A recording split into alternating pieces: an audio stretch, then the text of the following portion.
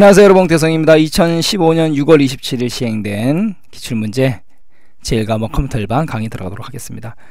1번 다음 중 컴퓨터 발전 과정의 3세대 이후의 특징으로 해당되지 않는 거 찾아라 이거죠. 그러니까 3세대 이후의 특징이 해당되지 않는 거니까 결, 결론적으로 1세대, 2세대 찾아라 이거 아니겠습니까?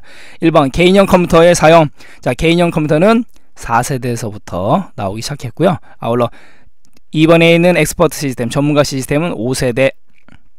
그 다음에 3번에 있는 일괄 처리, 모아 모아 한꺼번에 처리하는 거는 가장 원세대, 1세대죠. 그렇기 때문에 3세대 이의 특징이 아닌 거는 3번이 되겠네요. 4번의 집적 회로 같은 경우는 몇 세대? IC, 그죠? 3세대다라는 거죠.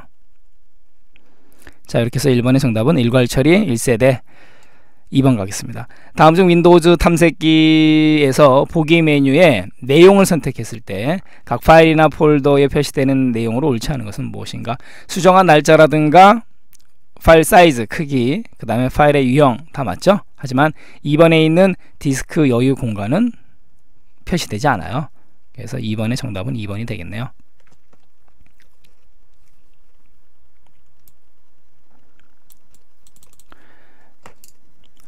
3번 다음 중 한글 윈도우즈 7의 윈도우즈 작업 관리자 창에서 수행할 수 있는 작업으로 옳지 않은 것은 무엇인가 라는 거죠.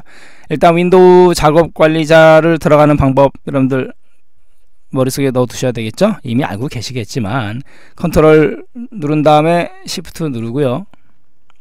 그 다음에 ESC 키를 누르게 되면 윈도우즈 작업 관리자 창이 떠요. 가겠습니다. 1번 사용자 계정의 추가와 삭제를 수행할 수 있다. 자, 사용자 계정의 추가, 삭제는 어디서 해야 돼요? 바로 제어판의 사용자 계정에서 해야 되는 거죠. 답은 1번이 틀렸네요. 자, 나머지 거 보겠습니다. 현재 실행 중인 프로그램을 강제로 종료시킬 수 있다. 실질적으로 우리가 이제 윈도우 작업 관리자 컨트롤 플러스 시프트 플러스 ESC를 누르고 들어가서 이 작업을 제일 많이 하죠. 문제가 생겼을 때 실행 중인 프로그램을 강제로 종료시키고자 할 때 3번 시스템의 CPU 사용 내용이라든가 할당된 메모리의 크기를 파악할 때 맞고요. 4번 현재 네트워크 상태를 보고 네트워크 이용률 확인할 때 맞습니다. 3번의 정답은 1번이고요. 4번 다음 중 웹 프로그래밍 언어에 해당되지 않는 것은 무엇인가? 우리가 HTML이라는 거 여러분들 기억나시죠? Hypertext Markup Language 바로 홈페이지를 만들어주는 언어 아니겠습니까? 그죠? 웹페이지를 만들 때 Hypertext Markup Language 그럼 1번에 있는 DHTML은 dynamic이거든요. 동적 HTML 여기 Markup Language 실은 4번 같은 문제는요. Markup Language라는 말이 들어가면 웹 프로그램하고 관련이 있는 언어거든요. 그러니까 지금 3번에도 Standard Generalized Markup Language 여기도 Markup Language예요. 4번 같은 경우도 Markup Language. 근데 이 W가 wireless. wireless 그러면 뭐예요? 와이어는, 선, 와이어는 선이고 less 그러면 무선 아니겠습니까? 선이 없는 거니까 무선이죠. 이렇게 해서 웹 프로그래밍 언어에 해당되지 않는 건 정답은 2번이 되는 거죠. 그래서 4번 같은 문제를 풀 때는 우리가 HTML은 머릿속에 이제 이미 알고 있는 거고요. 그러니까 Hypertext Markup Language니까 1번 같은 경우는 Dynamic HTML Markup Language 3번도 Markup Language 4번도 Wireless Markup Language 그죠? 정답은 이제 2번이 되는 거고 2번 같은 경우는 이게 CO가 그 common 일반적인 B는 비즈니스예요. Oriented Language. 비즈니스 그럼 뭐야? 사무 처리 언어. 유명하죠? 코볼. 이제는 뭐 사용되지 않는 언어지만 그래서 웹 프로그래밍 언어하고는 전혀 무관하다. 4번의 정답은 코볼이고요. 그 다음 우리 코볼 나오면 항상 따라 나오는 언어 포트란 수치 계산. 그죠? 그것도 좀 같이 알고 가셔야 되고 또 C 언어도 마찬가지고. 자, 4번의 정답은 2번이고요. 5번 가겠습니다.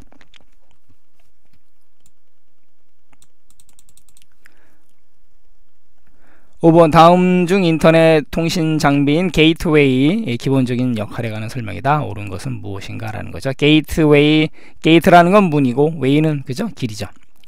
1번 현재 위치한 네트워크에서 다른 네트워크로 연결할 때 아까 게이트 문 그죠? way라는 건 길.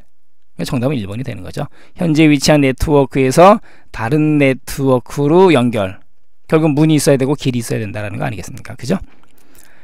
2번 인터넷 신호를 증폭, boost한다는 얘기죠. 신호를 갖다가 증폭시켜서 먼 거리로 정보를 전달할 때 사용되는 거는 리피터죠. 리피터. 2번에는 리피터고 3번 네트워크 계층의 연동 장치로 경로 설정 이거는 뭐예요? 라우터죠. 그죠? 최적의 경로를 선택해주는 장치 라우터 4번 문자로 된 도메인 이름을 숫자로 이루어진 IP 주소로 변환하는 거 DNS죠. DNS. DNS 도네, Domain Name Server 또, 는 이제 Domain Name System. 자 5번의 정답 게이트웨이는 1번이고요. 6번 가겠습니다. 다음 중 한글 윈도우즈 7에서 사용하는 바로가기 키에 대한 설명이다 옳지 않은 것은 무엇인가? 자 윈도우 키 Win키라고 그러죠? L을 누르면 이 LOCK lock. 그래서 컴퓨터 잠금 또는 사용자 전환 맞고요. 그 다음에 Win키 누르고 R. R이라는 거는 실행. 대화 상자가 열려요. 그럼 여기서 R은 바로 RUN run의 약자다라는 거죠. 뛰는 게 아니고 컴퓨터에서 run은 실행이죠. 그 다음에 3번에 Win키 누르고 Pause 이거는 뭐냐면요. 시스템 창이 열립니다. 맞고요. 4번 Win키 누르고 E 누르면은 장치 및 프린터 추가가 아니고 윈도우 탐색기죠. 그래서 6번의 정답은 4번이고요. 윈도우 탐색기 Win키 누르고 E 누르는 거는 알고 계시면 작업하실 때 굉장히 좋아요. 머릿속에 반드시 넣어두시기 바랍니다.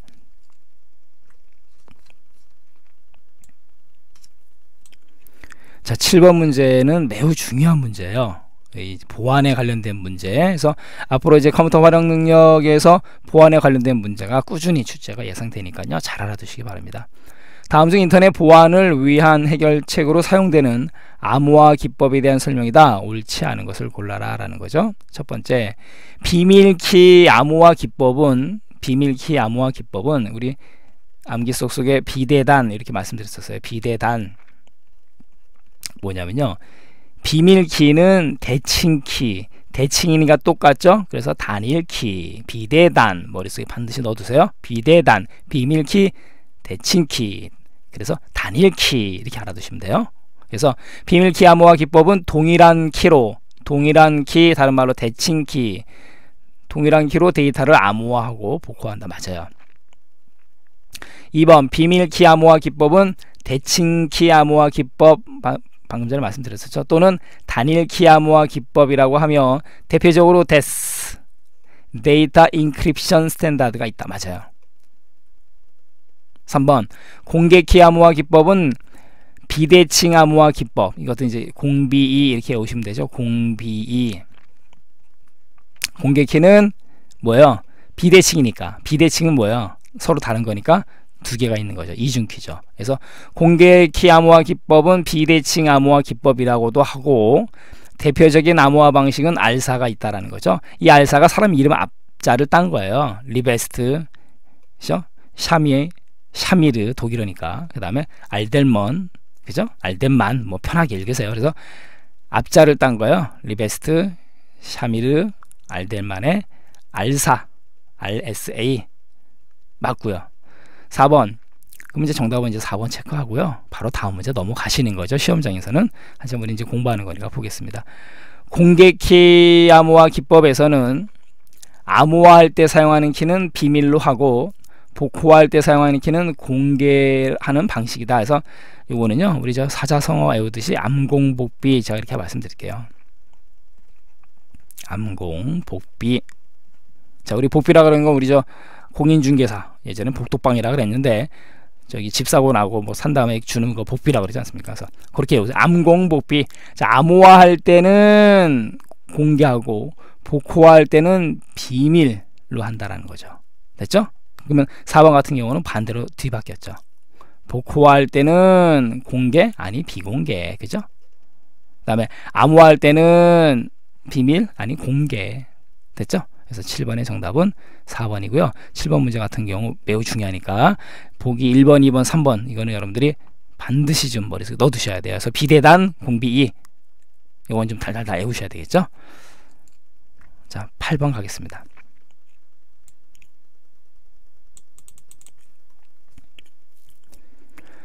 8번 다음 중 소프트웨어 사용권에 대한 사용 분류에 대한 설명이다. 옳지 않은 것을 골라라라는 거죠. 애드웨어 또 나왔네요. 우리 ad가 무슨 뜻이죠? 광고란 뜻이죠. advertisement의 약자 ad. 배너 광고를 보는 대가로 무료로 사용하는 소프트웨어이다. 맞고요. 우리 애드웨어도 시험 문제 나온 우리 지난 기출 시간에 풀었었죠. 쉐어웨어 정식 버전이 출시되기 전에 프로그램에 대한 일반인들의 평가를 받기 위해 제작된 소프트웨어이다. 일반인들의 평가를 받기 위해서 제작된 소프트웨어는 뭐예요? 알파 버전이죠? 아니죠. 베타죠. 베타. 그죠? 베타 버전. 알파 버전은 자기네 회사끼리 회사 안에서 하는 거고. 그럼 정답은 이제 2번이 되는 거고요. 2번 같은 경우 쉐어웨어는 뭐예요? 눈이 말씀드렸죠. 기간이라든가 기능들이 제한이 되어 있는 거. 3번 번들 번들은요 B-U-N-D-L-E 번들 무슨 뜻이야? 한 묶음 한 다발 이런 뜻이 있어요. 그래서 특정한 하드웨어나 소프트웨어를 살 때 한꺼번에 포함해서 그냥 뭉태기로 주는 소프트웨어 번들 소프트웨어라고 그러죠. 맞습니다. 네 번째 프리웨어 공짜 돈 내지 않고 사용 가능 다른 사람에게 전달할 수 있다. 왜요? 공짜니까 무료니까. 자 8번의 정답은 쉐어웨어가 잘못됐다. 베타 버전에 대한 얘기다라는 거. 9번 다음 중 동영상 데이터 파일 형식이다. 옳지 않은 것은 무엇인가? AVI라든가 DVI, ASF는 전부 다 동영상 파일 맞죠? 하지만 DXF는 뭐냐면요. drawing, drawing 그러면 그림이죠. 그 다음에 X는 이 대부분 컴퓨터 용어에서 X는요. exchange예요. exchange. exchange. 아까 그 D는 이제 DRAW, drawing, 그죠? 그림을 그리다 이런 뜻이 있는 거죠. 그 다음 F는 이제 포맷이 되는 건데 형식이다라는 뜻이죠. 그래서 이 DXF 같은 경우는 뭐냐면 도면 파일을 교환하기 위한 형식이에요. 이건 여러분들이 좀 머릿속에 가볍게 넣어두시면 되죠.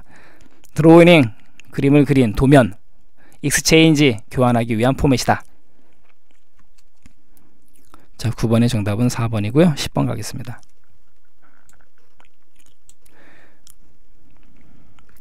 다음 중 컴퓨터 운영 체제에 대한 설명이다. 옳지 않은 것은 무엇인가? 첫 번째, 시스템의 모든 동작 상태를 관리하고 감독하는 제어 프로그램의 핵심 프로그램을 슈퍼바이저라 한다. 자, 슈퍼바이저, 슈퍼 힘이 센 거죠. 바이저 지켜보는 거죠. 맞아요. 두 번째, 운영 체제는 컴퓨터가 동작하는 동안 하드디스크 내에 위치하여 여러 종류의 자원 관리 서비스를 제공한다. 그럴 듯해 보이는데요. 그죠? 하드디스크 내에 위치 하는 건 맞지만 여기서 얘기하는 건 뭐냐면 여러 종류의 자원 관리 서비스를 제공하기 위해서는 주기억 장치로 로드가 돼야 되는 거죠. 적재가 돼야 되는 거죠. 이해하셨죠? 그래서 컴퓨터를 부팅하는 순간 하드 디스크에 있는 운영 체제가 주기억 장치로 로딩이 돼야 된다라는 거죠. 그래서 이 10번 문제의 보기 2번은 그냥 하드 디스크에 위치할 뿐이에요. 그렇기 때문에 옳지 않다라는 거죠. 좀 말장난이고 조금은 그죠?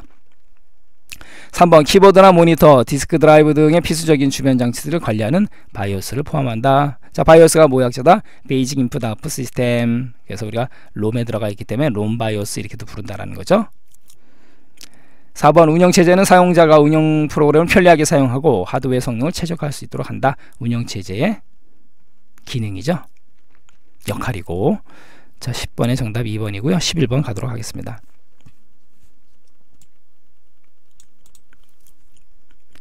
(11번) 다음 중 시스템의 정보 보안을 위한 기본 충족 요건으로 적절하지 않은 것은 무엇인가? 시스템의 정보 보안을 위해서 기본적으로 만족해야 되는 조건을 의미한다는 거죠. 말이 더 어려워요. 1번 시스템 내의 정보와 자원은 인가된 사용자만 접근이 허용되어야 된다. 당연하죠. 맞습니다. 두 번째, 소프트웨어의 버전과 저작권에 관한 내용이 인증되어야 된다. 자, 이거는 정보 보안 개념하고는 좀 동떨어진 개념이죠. 기본 충족 요건은 아니다라는 거죠. 정답은 2번이 되는 거고요. 3번 정보를 전송하는 과정에서 변경되지 않고 전달되어야 된다. 이건 뭐 당연한 거죠. 무결성, 그죠? 깨끗해야 되는 거죠. 사용자를 식별하고 접근 권한을 확인할 수 있어야 된다. 이건 뭐 말씀 안 드려도 뭐 당연한 얘기죠. 12번 가겠습니다. 다음 중 컴퓨터에서 사용되는 펌웨어에 대한 설명이다. 옳지 않은 것은 무엇인가? 자, 첫 번째, 하드웨어의 동작을 지시하는 소프트웨어이지만 하드웨어적으로 구성되어 하드웨어 일부분으로도 볼 수 있는 제품을 말한다. 그죠? 펌웨어 맞고요. 두 번째, 하드웨어 교체 없이 소프트웨어 업그레이드만으로 시스템의 성능을 높이기 위한 목적이다. 이건 여러분들 매우 중요한 얘기니까요. 반드시 좀 알아두시기 바랍니다. 세 번째, 시스템의 효율을 높이기 위해서 램에 저장되어 저장되어 관리된다. 자, 유사한 문제가 계속 나오고 있는데 램이라는 건 랜덤 액세스 메모리는 휘발성이에요, 비휘발성이에요. 휘발이죠, 휘발. 날아가는 거죠. 그럼 펌 같은 경우 중요한 데이터가 들어 있어야 되는데 거기에 들어 있는 게 램에 넣, 넣어놨다 그러면 컴퓨터 전원이 꺼질 때마다 다 날아가거든요. 그러니까 문제가 되는 거죠. 12번의 정답은 3번이고요. 롬에 저장이 되어 있어야죠. 저장이 되어 있어야 되겠죠. 그죠? 4번 기계어 처리, 데이터 전송, 부동 소수점 연산, floating point, 그 다음에 채널 제어 등의 처리 루틴을 가지고 있다. 펌웨어 맞죠? 그래서 12번의 정답은 3번 램은 휘발성이기 때문에 안 된다라는 거 13번 다음 중 멀티미디어와 관련해서 JPG 파일 형식에 관한 설명이다 옳지 않은 것은 무엇인가 첫 번째 사진과 같은 정지 영상을 표현하기 위한 국제 표준 압축 방식이다 우리 JPG JPG 파일 많이 사용되죠 사진 두 번째 24비트 컬러를 사용해서 true color로 이미지를 표현한다 맞고요 세 번째 사용자가 압축률을 지정해서 이미지를 압축하는 압축 기법 그래서 우리 JPG 같은 경우는 비손실, 무손실, 그 다음에 손실 다 사용한다고 말씀드렸었어요. 네 번째 이미지를 확대해도 테두리가 거칠어지지 않고 매끄럽게 표현된다? 아니죠. 반대죠. 13번의 정답은 4번. 그래서 안티 엘리어싱 개념이 나왔다는 것도 좀 같이 알고 가셔야 되겠죠. 14번 가겠습니다. 14번 문제는 매우 중요하죠. 다음 중 어떤 장치가 다른 장치의 일을 잠시 중단시키고 자신의 상태 변화를 알려주는 것을 뜻하는 용어는 무엇인가? 자, 요거는 조금 우리가 기존에 배웠던 내용하고는 조금 다르게 나온 개념인데 좀 포괄적으로 보셔야 돼요. 어떤 일을 하고 있다가 그죠? 급한 일이 생겨요. 그럼 그 급한 일을 먼저 처리하고 나서 그리고 그 다음에 다시 돌아와서 처리한다. 그럼 뭐예요? 인터럽트거든요. 이거는요. 인터럽트라는 거는 방해하는 요인인데 지금 우리 강의를 방해할 수 있는 가장 결정적인 요인은 뭘까요? 정전이죠. 지금 만약에 정전이 되어버린다면 컴퓨터가 꺼지면서 모니터가 싹 없어지면서 그죠? 그게 바로 인터럽트예요. 정전이 방해하는 거죠.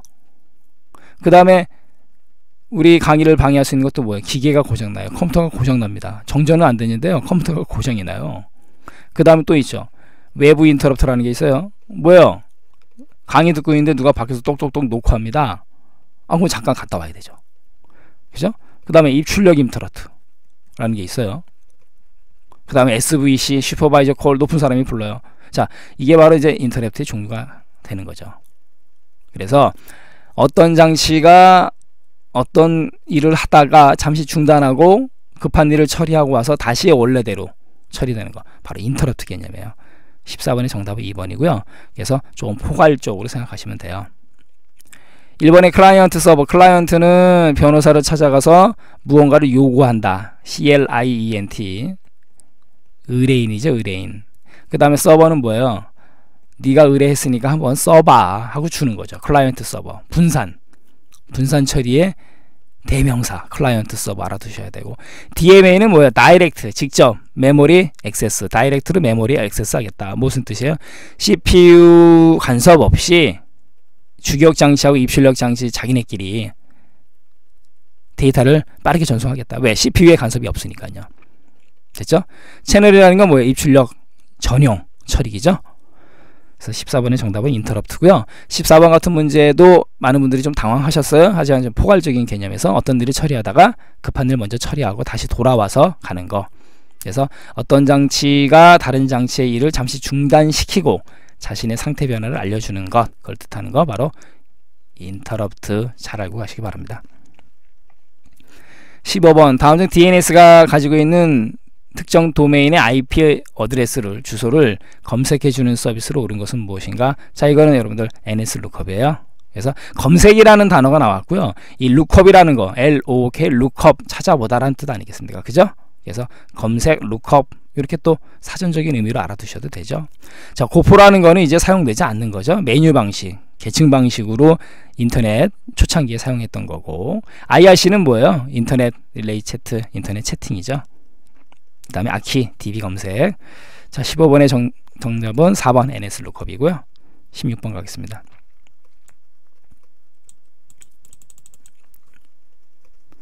16번 다음 중 PC 업그레이드 시 고려해야 할 사항으로 옳지 않은 것은 무엇인가?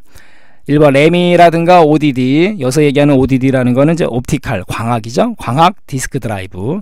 광학 디스크 드라이브를 얘기하는 거예요. 그래서 램이나 ODD를 설치할 때 접근 속 접근 속도의 수치는 접근 속도니까 속도는 나, 작은 것이 좋죠 낮은 것이 이건 당연한 거고요 두 번째 하드디스크를 교체할 때는 연결 방식의 종류와 버전 확인해야 되겠죠. 그죠? 중요한 거고. 그 다음에 CPU 클럭 속도는 높은 것이 좋아요. 맞습니다. 그럼 정답은 이제 4번이 되는 거죠. 램을 추가할 때에는 기존의 것보다 더 많은 핀의 램으로 추가한다. 이 램을 추가할 때는 조심하실 게 뭐냐면요. 램을 꽂을 수 있는 그 소켓 그게 있느냐 없느냐 그거 먼저 보셔야 되는 거죠. 16번의 정답은 4번이고요. 17번 다음 중 한글 Windows 7의 글꼴에 관한 설명이다. 옳지 않은 것은 무엇인가? 첫 번째, 글꼴 파일은 RTF. RTF는 Rich Text Format이죠. 그다음에 INF 같은 경우는 설치. 그래서 정답은 이제 1번이 되는 거고 글꼴 같은 경우는 확장자가 TTF라든가 그다음에 이제 TTC 그다음에 이제 FON 이런 것들이 있어요. 그래서 RTF라든가 INF는 아니다라는 거. 나머지 거 볼까요? 시스템에서 사용하는 글꼴은 C의 Windows의 Fonts, Fonts라는 폴더에 저장되어 있다 맞고요. 그 다음에 TrueType 글꼴, OpenType 글꼴 제공되고 그 다음에 글꼴에는 기울임, 굵게, 굵게 기울임 뭐 이런 것들이 있다라는 거죠. 자, 17번의 정답은 확장자가 잘못됐다. 18번 가겠습니다. 자, 18번 문제는 지난번 기출 문제에서 나왔던 문제죠. 다음 중 인터넷 주소 체계 IP 버전 6에 관한 설명이다. 옳지 않은 것은 무엇인가? 1번 128비트의 주소를 사용하기 때문에 IP 버전 4의 주소 부족 문제를 해결했다. 그죠? 맞고요. 두 번째 IP, IP 버전 4와 비교했을 때 자료 전송 속도는 늦지만 주소의 확장성과 융통성이 우수하다. 그 지난번 문제도 마찬가지였었죠. 자꾸 전송 속도를 가지고 물고 늘어지는데 IP 버전 4에 비해서 아까도 말씀드렸지만 주소 부족 문제를 해결하기 위해서 태어난 거지 전송 속도 개념이 아니라는 얘기죠. 18번이 정답 2번이고요. 인증성, 기밀성, 데이터 무결성의 지원으로 보안 기능 포함한다 맞고요. 다음 IP 버전 4와 호환성이 있으면 이거 여러분들 조심하셔야 돼요. 호환성 있습니다. 좋아요.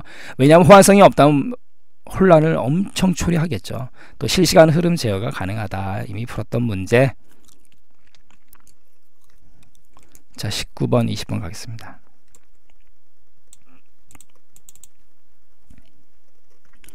(19번) 다음 중 유비쿼터스 센서 네트워크의 활용 분야에 속하는 것은 무엇인가 자 여기서 유비쿼터스라는 거는 마크 와이저의 유비쿼터스 언제 어디서나 편재하는 그죠 그 다음에 센서에 의한 네트워크다 그러니까 결론적으로 네트워크 환경 인터넷 환경이 되겠죠.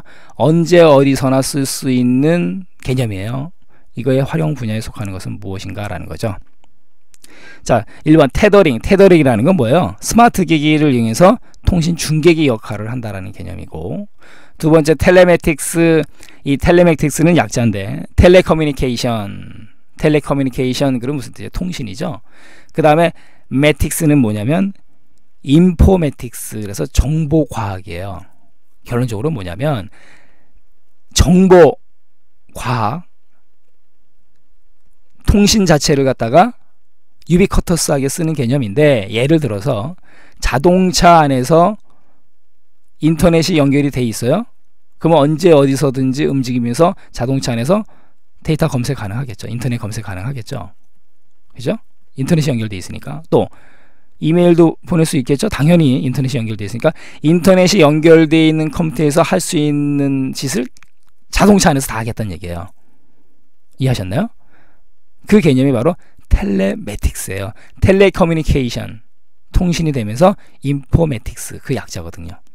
그래서 이동하는 차량에서 무선 인터넷을 이용해서 정보 검색이라든가 이메일 등 인터넷으로 할 수 있는 작업들을 하겠다라는 거죠. 이렇게 해서 유비쿼터스 언제 어디서나 편재하는 이걸 만족하는 거 바로 텔레매틱스가 정답이 되는 거죠. 블루투스 같은 경우는 이미 배웠죠. 근거리, 가까운 거리에서 선이 없는 상태에서 접속되는 프로토콜이다. 여러분들이 뭐 더 잘 알고 계실 거고요. 코프라는 건 아까 말씀드렸었고요. 15번 문제에서 인터넷 초창기 때 지금은 사용하지 않지만 정보를 메뉴 방식 또는 계층 방식으로 찾았던 거다라는 거죠. 그래서 19번 같은 문제는 앞으로 또 출제될 확률이 높은 문제니까 USN 유비쿼터스 센서 네트워크를 활용한 분야 같은 거 telematics 자동차 안에서 이동하면서 그죠? 이동형 차량 무선 인터넷 접속 서비스다라는 거죠. 자, 20번 문제 가겠습니다. 다음 주 한글 Windows 7의 제어판의 프로그램 및 기능에 대한 설명이다. 옳지 않은 것은 무엇인가? 첫 번째, Windows에서 설치되어 있는 응용 프로그램을 변경하거나 제거할 수 있다. 그 지, Window 7이 나오면서 제어판이 조금 많이 어려워졌어요. 그런데 중요한 건 뭐냐면요. 프로그램 및 기능이라고 돼 있으니까 프로그램에 관련된 내용이겠죠. 그죠? 여러분들이 설사 20번처럼 시험 그 미처 시험 보러 가기 전에 제어판에 대해서 마스터를 못하고 가셨더라도 문제를 가지고 좀 신경 쓰시면 돼요. 지금 1번 같은 경우 Windows에 설치되어 있는 응용 프로그램을 변경하거나 제거할 수 있다. 프로그램 및 기능. 유사한 기능이잖아요. 말의 타이틀에 따라서 그 기능이 결정되는데 비슷하잖아요. 그럼 맞는 거예요. 두 번째, 게임, 인쇄 및 문서 서비스, 인터넷 정보 서비스 등 한글 Windows 7에 포함되어 있는 다양한 기능의 사용 여부를 선택할 수 있다. 이거 프로그램 개념 아니겠습니까? 그죠? 게임도 프로그램이고 인쇄 및 문서 서비스 이런 것도 다 프로그램 아니에요. 인터넷 정보 서비스 이런 것도 프로그램이니까. 세 번째, 설치된 업데이트를 확인할 수 있고 업데이트 목록에서 업데이트를 제거하거나 변경할 수 있다. 프로그램 및 기능이니까 당연히 3번도 해당이 되겠죠. 그래서 1번, 2번, 3번이 다 해, 해당이 되니까 정답은 이제 4번이 되는 거죠. 4번 온라인으로 추가 테마 보기를 선택해서 마이크로소프트사에서 제공하는 다양한 테마를 추가 설치할 수 있다. 자, 온라인으로 추가 테마 보기를 선택해서 마이크로소프트사에서 제공하는 다양한 테마를 추가 설치할 수 있다. 자, 이거는 이미 기존에 우리가 우리 PC에 있는 그런 프로그램 개념이 아니고, 그죠? 온라인으로 추가를 테마하겠다. 이거는 뭐 개인의 어떤 취향이기 때문에 4번 같은 경우는 제어판에 개인 설정에 들어가서 하셔야 돼요. 됐죠? 됐네요. 그래서 온라인으로 추가 테마, 아, 추가 테마는 뭐 개인적인 취향 아니겠느냐라는 거죠.